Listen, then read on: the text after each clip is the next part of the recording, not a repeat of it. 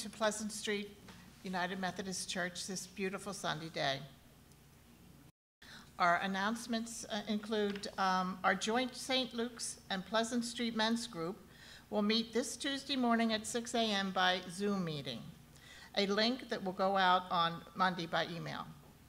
You are invited in prayer to join in prayer via conference call this Wednesday at 7 a.m.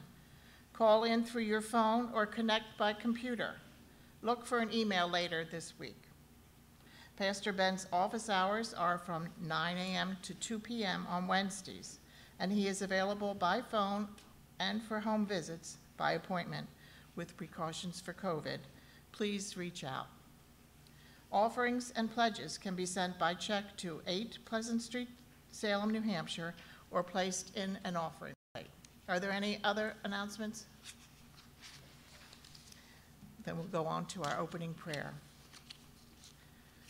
Lord God, thank you for welcoming us into your presence this day, for your invitation to receive your grace, and for your way of transforming our lives with your abiding love, both as individuals and as families united in your name.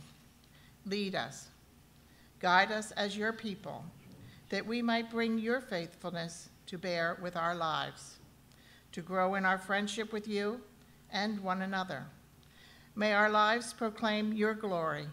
In Jesus' name we pray. Amen. Amen. Our call to worship is inspired by Psalm 133. How very good and pleasant it is when families are united together in God's kindness and blessing.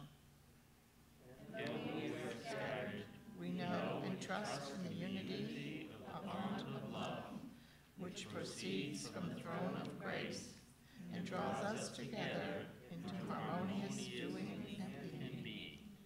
Open your heart to sing to the Lord today. How good it is to worship the Lord. Let the rain of blessing water let the rain of blessing water your soul. How good it is to worship the Lord. Let the anointing of God's love wash over your life. Our hymn is um, Blessed Be the Tie That Binds from the United Methodist Hymnal number 557.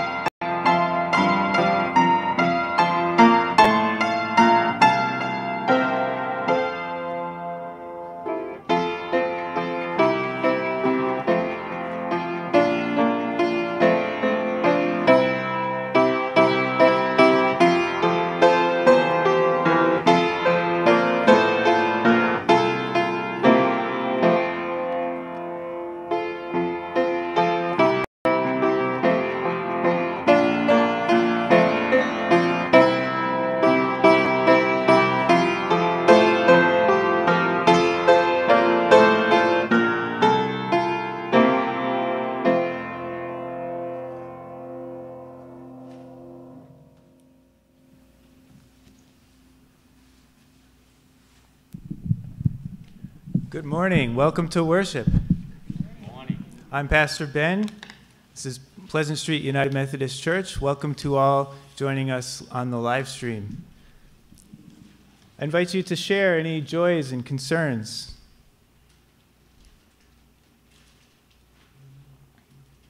Yes.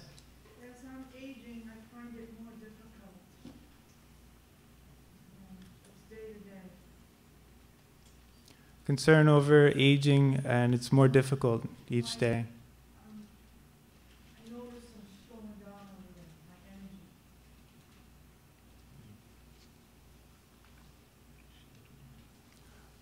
All right, concern for uh, energy decreasing and uh, slowing down.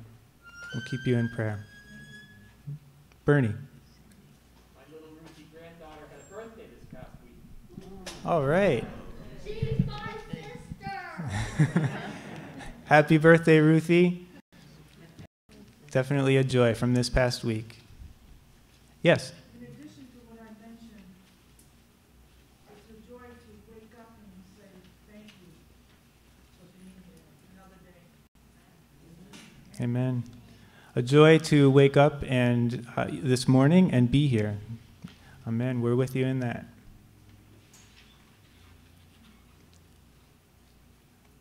Yes, Terry.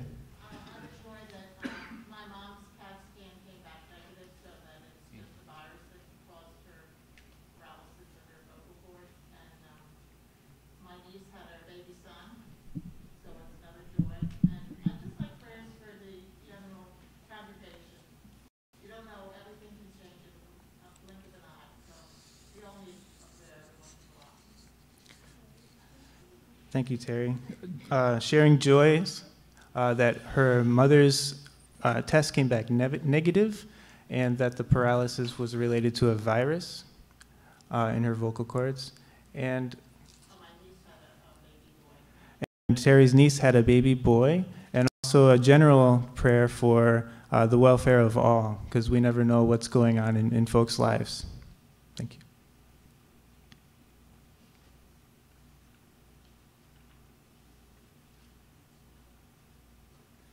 Are there any others? Pam. We have two or three areas within this country that have had some serious issues, and I, I think both Georgia and Texas need to be kept in prayer. And, and if you really want to go to it, Brazil's not having a good time either. They've got this COVID going on down there, and they don't have it. Yes, definitely. Pam is requesting prayer for two or three areas of this country with that is that are going through serious troubles, uh, Texas and Georgia. Um, two of those. Also, uh, remembering Brazil during this time. Uh, they're really struggling with the coronavirus.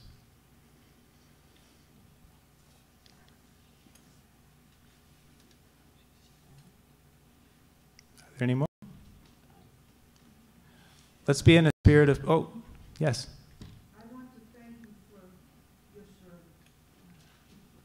There's a joy. Thank you. thanking, um, thanking me for my service, and thank you all. It's a joy to be here.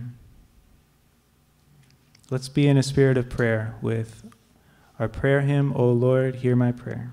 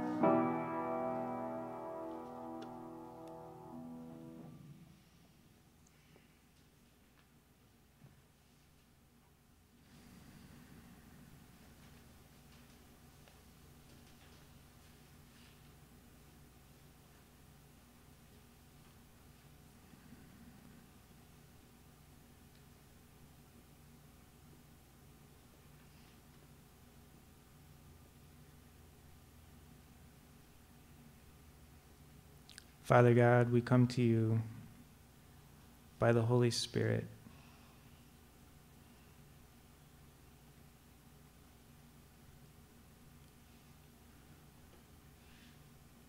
We come to you, Lord, with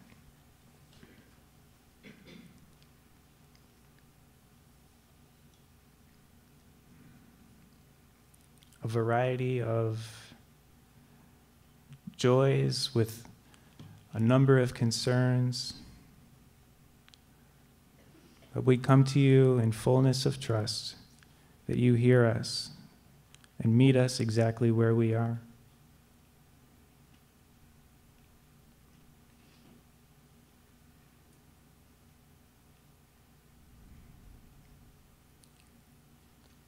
Father, we ask your presence and invite your grace to rest over our congregation today, over your people gathered.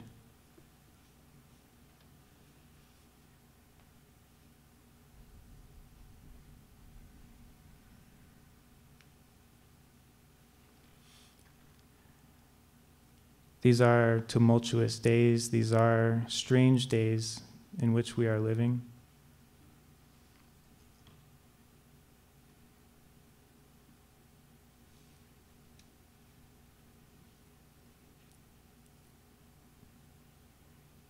And we especially remember areas of this country that are particularly being shaken right now. Lord, we lift up Texas and Georgia.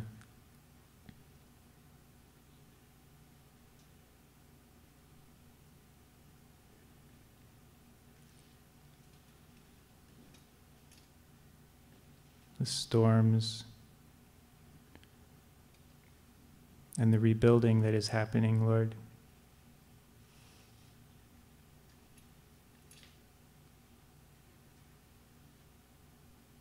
Bring your strength to bear.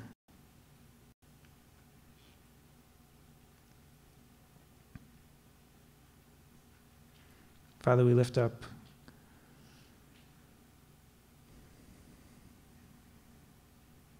the nation of Brazil.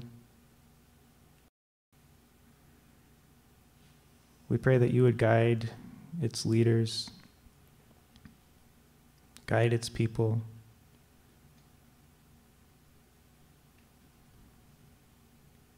In their response to this day, Lord.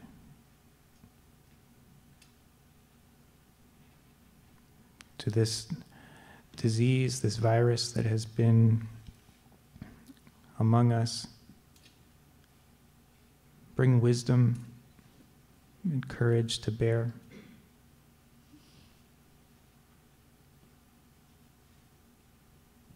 In the hearts and minds of those entrusted to guide the people and to the people themselves, Lord.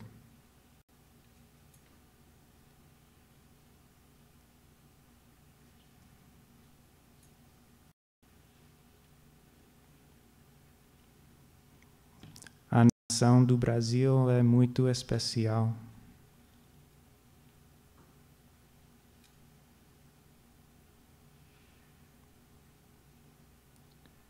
Father, we lift up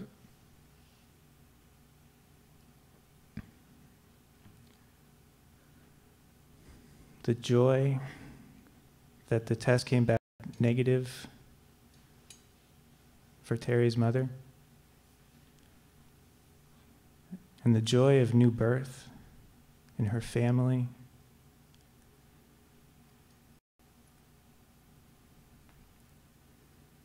We thank you, Lord, for this past week, the celebration of Ruthie's birthday.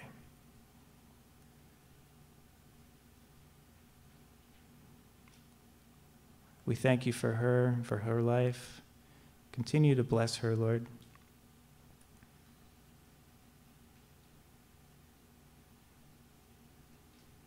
And Father, we lift up our sister who is confronting the, the challenges of aging. Just ask for your continued grace in her life to speak your kindness.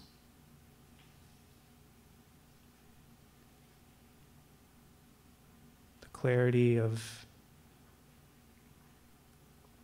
purpose and presence that you bring.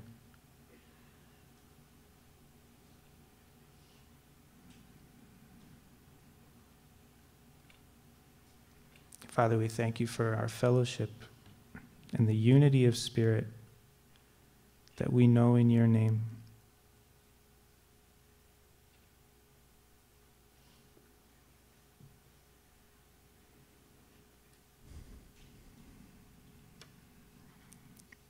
And it is with the boldness of the children of God that we lift up the prayer that Jesus taught his disciples to say, Our Father, who art in heaven, hallowed be thy name. Thy kingdom come, thy will be done, on earth as it is in heaven. Give us this day our daily bread, and forgive us our trespasses, as we forgive those who trespass against us. And lead us not into temptation, but deliver us from evil.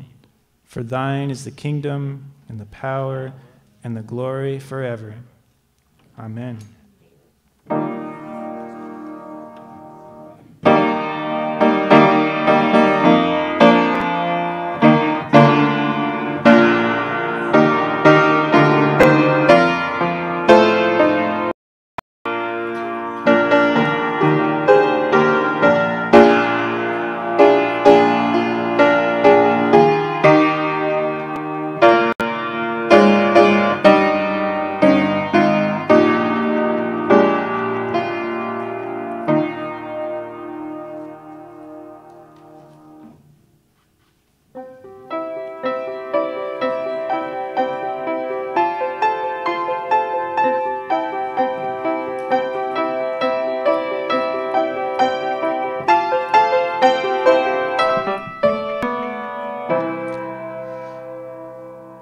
Good morning, everyone. It is so good to see you today. Hi, Rosalie. Hi, Willow. And hi, Bernie. Hi, Ruthie. One year older. You said you were five. Yeah? Oh, awesome. We love that. and hello to everyone on our live stream today. I hope you had a great Easter last week. So, everyone here and everyone around the world is still impacted by this virus, which we all know is COVID 19, right? And so, this virus has caused a huge impact on us. And we have seen schools shut down, businesses close, and, you know, a lot of things have been suggested to slow down the spread of this virus. So, a lot of people say to wear a mask, not only to protect ourselves, but to protect others. Uh, let's see, other people recommend hand sanitizer, and I always carry this bottle of hand sanitizer. It looks like bubble tea with me all the time. People also use disinfecting wipes or sprays to keep the germs away. And so the tricky thing is is that we can't see the virus with our own eyes, right? You only can see the effects of it, the symptoms. And so that's a little bit scary. And so when we do use our masks and our hand sanitizers and we use our disinfecting wipes, we trust that they prevent the spread of the virus and they help protect us. And you know, it also might have been scary to be inside our houses for a little while. It was a few months, right? While their schools were closing. It was a long time. and so, in our gospel reading today, the disciples had to stay inside too. And they were afraid, but not because of a virus. They were afraid because Jesus had just died and they were scared that whoever killed Jesus would come after them too. And so while they were hiding, Jesus appeared to them, and they were so overjoyed that he was alive. But one of the disciples, he wasn't there, and his name is Thomas. Okay, so keep, keep his name in your head. His name's Thomas. Oh, just like your cousin? Cool. Hey, nice. And so when Thomas met up with the other disciples, the disciples said, Whoa, I, we saw Jesus. Jesus is alive. But Thomas didn't believe. He said, Psst, I didn't see Jesus with my own eyes. I need to touch his wounds. I need to touch his nail marks on his hands and touch his wound on his side. Then I'll believe. So later on, Jesus appears to the disciples again. And Thomas believes now because he was there to see it. But this is what Jesus says, and this is something that's really important to know today. So Jesus says, Blessed are those who have not seen me, but still believe. And so, who are the people who have not seen Jesus and still believe? Does anyone know? Yeah, Bernie? Us, yes, that's exactly right. yes, and so the virus may give us fear, but God, He drives the fear out. And we might not be able to see God with our own eyes, but we can see what He does. We can see the creation around us, we can see the people that He has made in His image. And see, even though we don't see Him, we trust that He will protect us. Now, that doesn't mean that, you know, we got to get rid of our masks and we got to get rid of our hand sanitizers. We still got to use that to take care of ourselves, right? So, again, blessed are those who have not seen Jesus but still believe. Jesus is alive and Jesus is real. Amen? Amen. Okay, let's pray. Dear God, we thank you for your presence. We thank you for providing the items that will help us and protect us from this virus. Help us to not be scared and help us to trust in you. You are alive. We praise you. In Jesus' name, amen.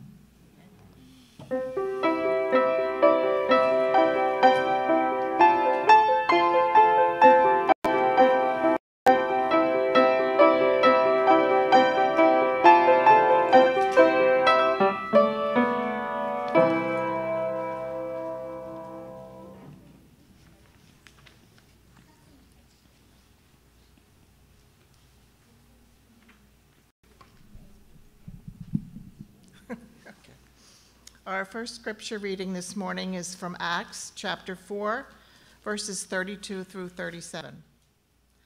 Now, the whole group of those who believed were of one heart and soul, and no one claimed private ownership of any possessions, but everything they owned was held in common. With great power, the apostles gave their testimony to the resurrection of the Lord Jesus, and, and great grace was upon them all. There was not a needy person among them, for as many as owned lands or houses sold them and, and brought the proceeds of what was sold. They laid it at the apostles' feet, and it was distributed to each as they had need. There was a Levite, a, name, a native of Cyprus, Joseph, to whom the apostles gave the name Barnabas, which means son of encouragement. He sold a field that belonged to him then brought the money and laid it at the apostles' feet. Psalm 133. How very good and pleasant it is when kindred live together in unity. It is like the precious oil on the head running down upon the beard, on the, on the beard of Aaron, running down over the collar of his robes. It is like the dew of Hermon, which falls on the mountains of Zion. For there the Lord ordained his blessings his blessing, life, live life forevermore. Please stand as you are able for the reading of the gospel. Our gospel reading this morning is from John 20, verses 19 through 31. When it was evening on that day, the first day of the week, and the doors of the house where the disciples had met were locked for fear of the Jews, Jesus came and stood among them and said, Peace be with you. After he said this, he showed them his hands and his side. Then the disciples rejoiced when they saw the Lord. Jesus said to them again, Peace be with you. As the Father has sent me, so I send you. When he had said this, he breathed on them and said to them, Receive the Holy Spirit. If you forgive the sins of any, they are forgiven them. If you retain the sins of any, they are retained. But Thomas, who was called the twin, one of the twelve, was not with them when Jesus came. So the other disciples told him, We have seen the Lord. But he said to them, Unless I see the mark of the nails on his hands, and put my finger in the mark of the nails of his hands and his sides, I will not believe. A week later, his disciples were again in the house, and Thomas was with them. Although the doors were shut, Jesus came and stood among them and said, Peace be with you. Then he said to Thomas, Put your finger here and see my hands. Reach out your hand and put it on my side. Do not doubt, but believe. Thomas answered him, My Lord and my God. Jesus said to him, Have you believed because you have seen me? Blessed are those who have not seen and yet have come to believe.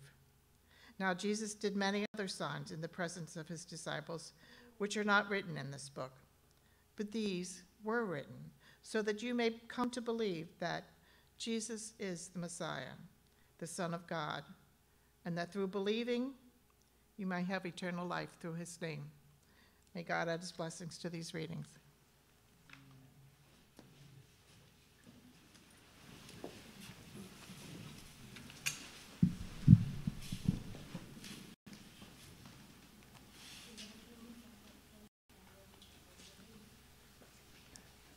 Today we read of the disciple Thomas's desire for something tangible, something tactile, something some living proof that all of this is real, that God can truly be trusted, and that his hope is not in vain. I believe we all have some of Thomas's character in us if we're truthful about it. In our text from Acts today, we have a snapshot picture people celebrating their adoption into God's beloved community by selflessly giving of themselves, their possessions, their talents, their very lives to further the work of God in the world. Each of these passages from two different books of the Bible tells a story of how God shows up in people's lives to speak to very specific needs. I would like to tell you a story. Prior to our work with the church plant in Southbridge, Milka and I were part of the Jesus Life Center, UMC, in Worcester, Mass. We had come to know the pastors there, Tiago and Selma Vieira, through my service learning internship while I was studying theology in Boston. A day after I met them, the couple was commissioned to begin a church plant among Brazilians in the same city that Milka and I had spent a good part of our lives as medical interpreters in Worcester. Their effort, a new church plant out of the Family United Methodist Church in Saugus, began in 2014 as a home group in Tiago and Selma's uh, living room in their apartment, where we shared fellowship and Bible study in a regular meeting on Friday nights called Savoring the Word. The group also met weekly for worship in the downtown Methodist Church of Worcester, Wesley UMC. While I had designed my practicum for school around working with the children and youth, first in Saugus and then in this fledgling congregation, Milka and I were also invited to take part in the church's leadership, administration, and missional strategy from the very first. Milka was studying business for her undergraduate degree at the time and since she has a knack for numbers and had always wanted to devote herself more fully to God's business, she was a great fit for the service uh, as treasurer. Milka and I were also married around this time in 2015. After a couple of years had passed, the small group continued to grow in numbers, and families and individuals committed to take part in the life of the church and deepen in their relationship with God. Concurrently, Aldersgate United Methodist Church in the Main South neighborhood of Worcester voted together with their pastor and the district superintendent to close its doors. The neighborhood had changed around that church, and its aging congregation had struggled to make connection points with the community. And this, in spite of a daycare business in its lower level that had begun as a form of outreach some 40 years prior. With the DS's guidance and pastoring, Aldersgate invited our group to take on the administration of the church's building in 2016. The same year, I graduated from seminary. Over a period of six months, the two groups met in the building, during which time the folks from Aldersgate would decide if they would like to conti- continue worshiping God together with the Brazilians in admittedly a very different way than they had been accustomed to to that point. I served Aldersgate as legacy pastor for six months, conducting traditional services in English at 9 a.m and then serving as interpreter later in the morning for the second multi ethnic service. Aldersgate closed its doors in December of 2016, and Jesus Life Center continued on. About half of that group, a dozen or so of the primarily English speaking and white congregation, decided to stay with Jesus Life Center, and half opted to move on to other churches in the area. Jesus Life Center had become a multi ethnic, multilingual church, now speaking Portuguese, Spanish, and English, the primary languages of many of its neighbors. As the months passed, and even as we saw people coming to put their trust in Jesus, growing in their love of God and deepening in their faith, as treasurer, Milka could see, and she was not alone in her concern, that the humble offerings of an economically disadvantaged community of believers would not be up to the task of meeting the administrative costs and general maintenance involved in keeping a large building in that part of the city. The congregation had received a grant from the conference to support the church plant, but those monies were scheduled by design to diminish over a period of three years. And there was the added complication that the still present daycare's activities took up most of the available space in the building, with the exception of the sanctuary and a small uh, meeting room called the library. While the daycare originally had been intended to be a way for Aldersgate to be present in the community's life, the daycare's leadership was not all that open to or friendly about having this new group in their space. An expanding Sunday school with Jesus Life Center did not have the space it needed, let alone any other activities that could potentially happen throughout the week to bring the church to the community and vice versa. It was clear that it was time to take some decisive steps if God's work was, going, was to continue growing among us. I mentioned earlier that my wife was studying business for her undergraduate degree during those years. Sometime in 2017, for one of her classes, Entrepreneurial Engagement, Milka was tasked with creating a business plan for a startup company of her design. One morning, as she contemplated these two spheres of her life, church and school, she prayed for God's guidance to develop a project and idea that would honor God. She did not want to just write another paper. The thought arose why not develop a business plan for a cafe in the church's space?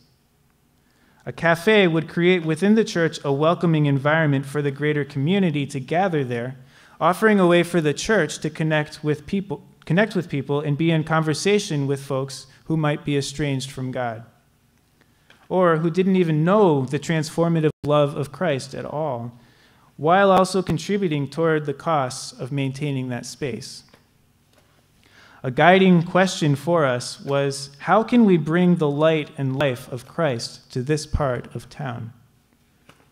Customers at the cafe would also know that their purchase of a cup of coffee or Brazilian pastry would go toward the missional outreach and service work of the church in Main South and beyond.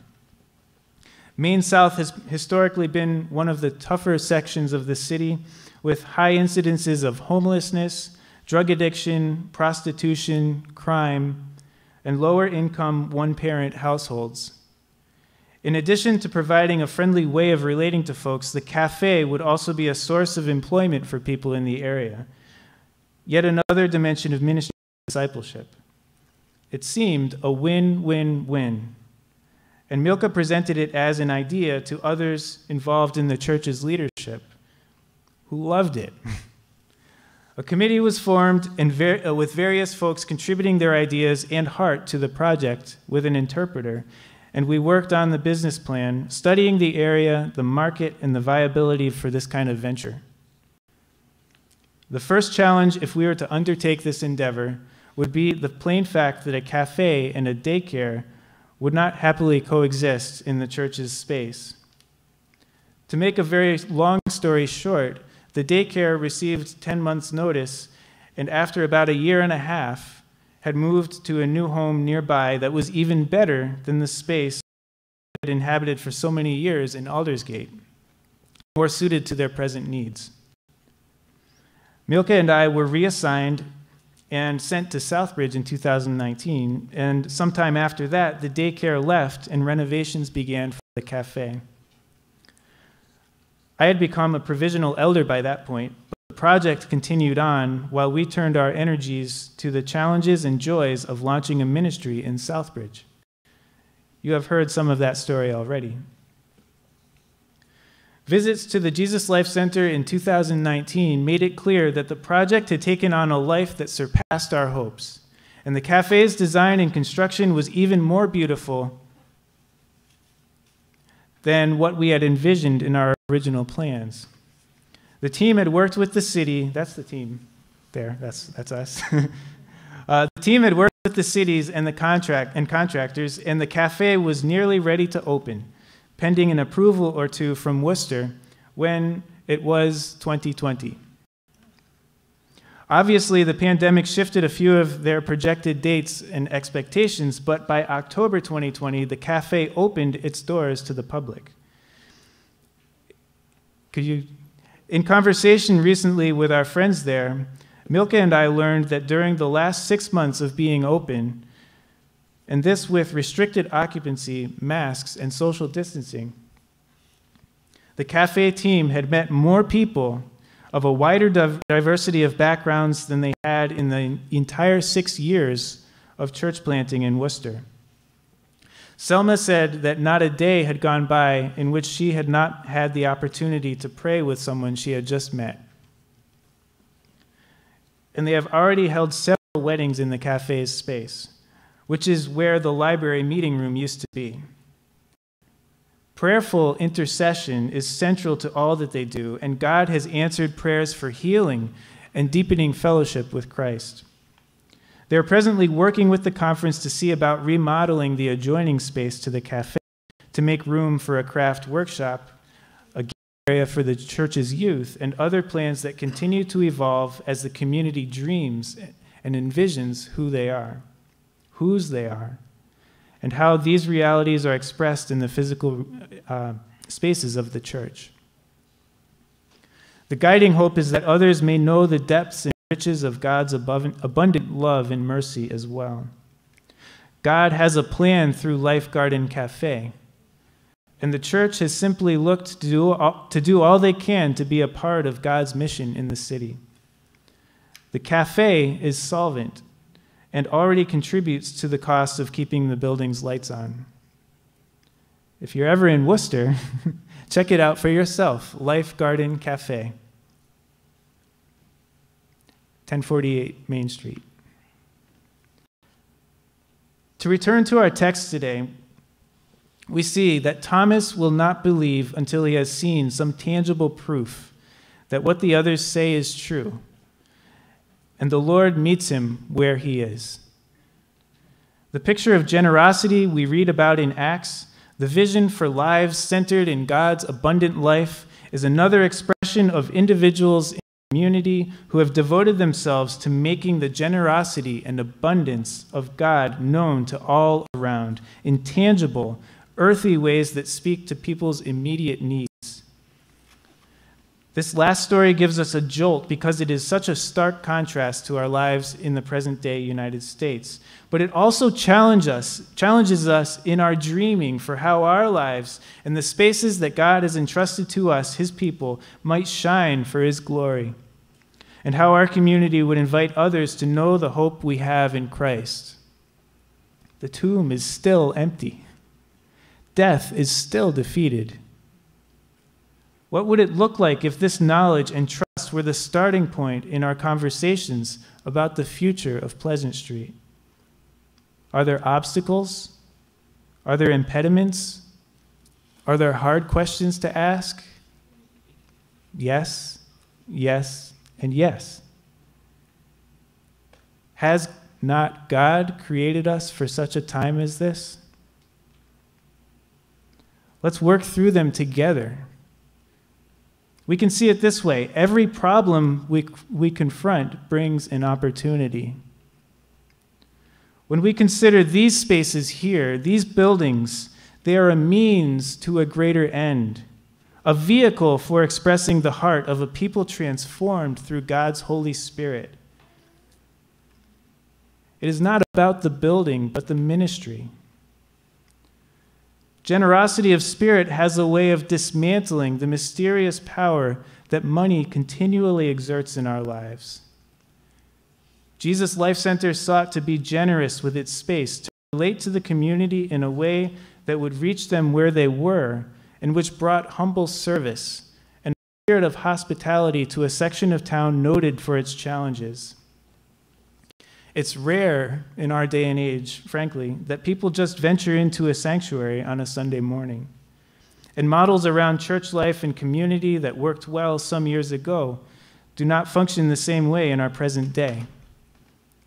Is Jesus any less faithful? Is the gospel any less good news, less powerful or transformative? By no means. I am new to you, and you to me. I do not have the answers for what this might look like in Salem, but this is as it should be. We are the body of Christ, and it is our respective gifts and graces that God's, it is in our respective gifts and graces that God's work is most powerfully revealed through us. Let's ask God to guide us in this. Let's share our ideas and dream together with God. I know that God's Spirit is already prompting many of you, or has been for many years, stirring your hearts to have you step out in new ways that might be scary, that might involve risk. Some of you have a holy discomfort about the way things are right now. I know this because you have even shared them with me. How might we dream together with God? Enjoy a celebration of the gifts and talents we all bring to the table in our unique diversity and graces, in all our messiness, too, because that's certainly a part of life together in discipleship. But in deepening trust that God is with us on this wonderful and difficult often painful adventure that is life on this earth. In my humble experience, the life of faith makes the most sense, has tangible, tactile implications when grappled over together in the company of a wide diversity of people. While sharing in a meal in one another's homes, like with savoring the word, or one on one, in having a cup of coffee with someone who lives on the street. It's the conversations and promptings, the radical embrace of God's amazing grace in these kinds of settings, the stirrings of the Spirit that rekindle the dreams and spur the actions to meet the ones hurting among us, who are isolated and alone, who are marginalized and feeling hopeless. Jesus extends a hand to Thomas that unflinchingly reveals his scars to meet him where he is. The early believers of Acts marvel at the abundance of generosity that overflows among them, so that no one goes without. The kingdom of God is among us, and it is within us. God's presence becomes tactile tangible, when we commit to journey with the Lord in humble trust that God has suffered as we do, his hands bear the scars, and that there is hope on the other side of the valley. Resurrection life is not only possible, it is the foundational building block of our existence if we would but entrust our doubts to God and believe. Will you trust God with your doubts today? Unlock the inner room of your heart and welcome the expanse of hope that is resurrection life. Amen.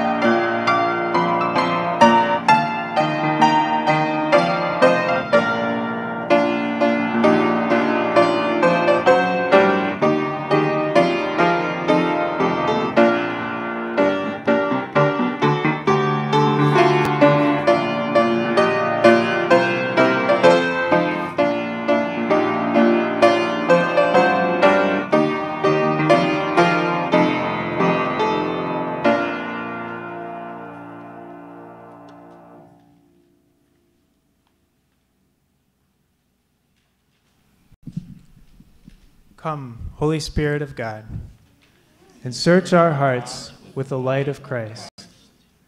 Our Lord Jesus Christ said, The first commandment is this Hear, O Israel, the Lord our God is the only Lord.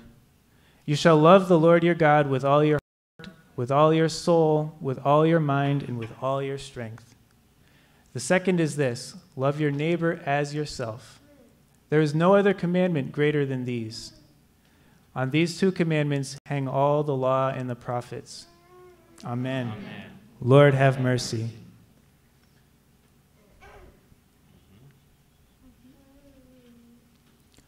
Come, let us return to the Lord and say, Lord our God, in our sin we have avoided your call. Our love for you is like a morning cloud, like the dew that goes away early. Have mercy on us. Bind up our wounds and revive us. Deliver us from judgment in Jesus Christ our Lord. Amen. May Almighty God have mercy on us, forgive us our sins, and bring us to everlasting life through Jesus Christ our Lord. Amen.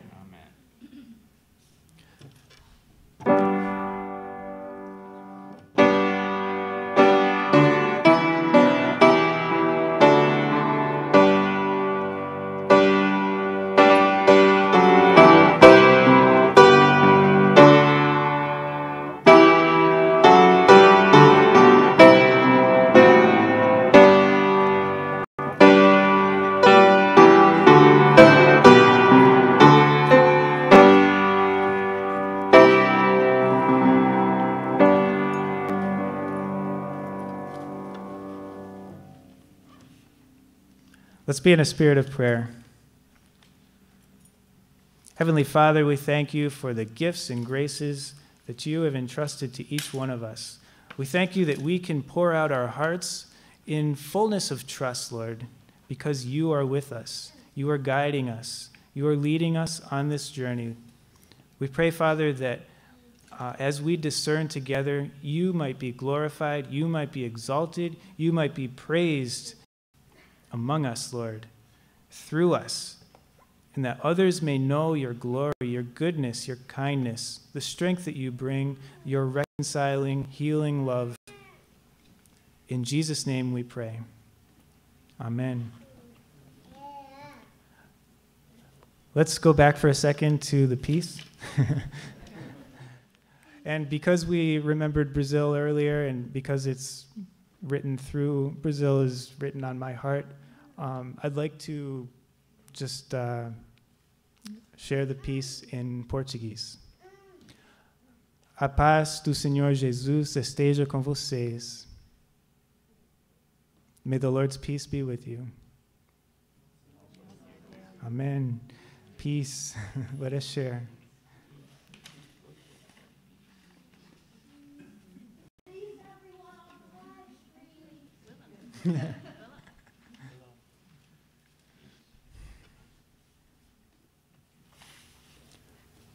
May the Lord bless you and keep you.